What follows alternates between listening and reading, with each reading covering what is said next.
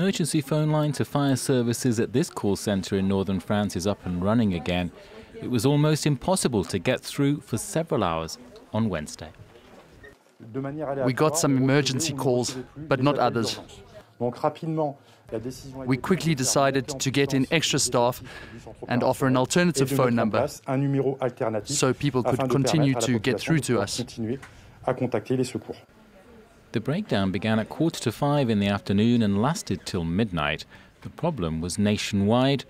Alternative emergency numbers were soon published online. The usual numbers generally get around 170,000 calls per day. In one incident, a man suffering from a heart condition died in hospital after being driven there by a relative who had been unable to get an ambulance. Everything was done as soon as the patient arrived at the emergency unit to try and keep him alive. This proved not possible. You can imagine how difficult the situation has been for the family.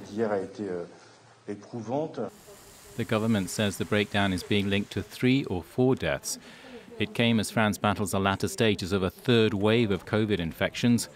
President Emmanuel Macron said he was very concerned while the French Interior Ministry condemned what it said were serious and unacceptable dysfunctions.